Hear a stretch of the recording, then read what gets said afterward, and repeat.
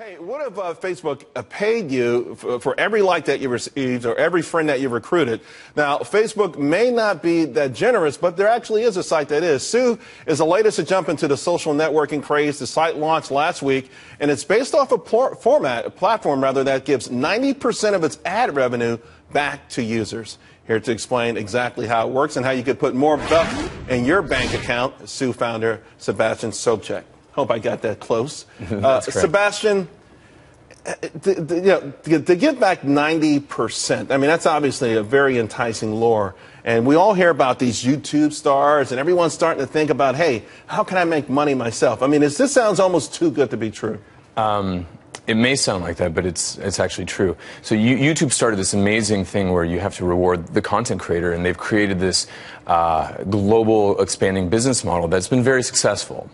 Um, and offline, uh, that sentiment has, has kind of uh, reigned uh, recently with kind of the federal appeals court decision um, re- regarding the NCAA compensating people for their, their work, their likeness, um, and their image. And if you look at social today, um, it's the complete monetization of every user's content, likeness, and image that's 100% inefficient for the user.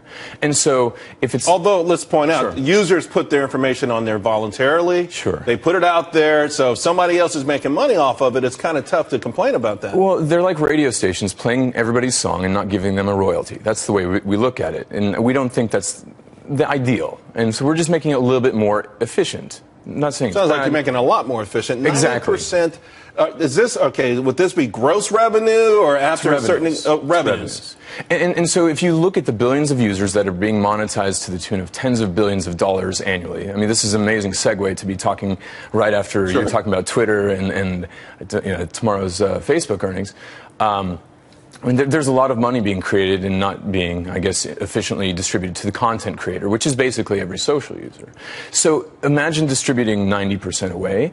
Um, our, it's not our content and it's not our interaction, so we think the lion's share should be given away. Although the lion's share could be 51%. It could be. Yeah. It could yeah. be. But if, if you give the lion's share away, which is what we think is fair, um, and, and, you see uh, startups actually giving the lion's share away, um, being brokers, uh, you um, for example, Uber, you know, they only take a 20% transaction fee. Airbnb is in the 6 to 12% range. Who are you going after, though? Okay, uh, you know, your platform goes after specifically maybe content creators. so, any, so you're going after Facebook, uh, uh, uh, you're going after Twitter. I mean, you're going after every one of these guys. How does it exactly work? I'm on your platform. Sure. What am I doing on your platform that I'm generating all of this content and all of these followers? If, if I could just interject one little statement, just uh, if, if we're giving purchasing power to all these users, which are massively distributed, we'd rather play in the financial services space, giving peer to peer payments, merchant services, and credit, and playing in that market, which is 10 times larger than the digital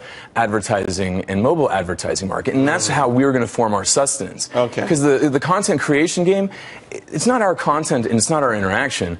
So give it away and, and play in the financial markets, and we can. So you create a loyal following because they're getting paid for something they've never gotten paid for. for their, their but then content. you have to have a certain level of trust for them to do these financial transactions through you.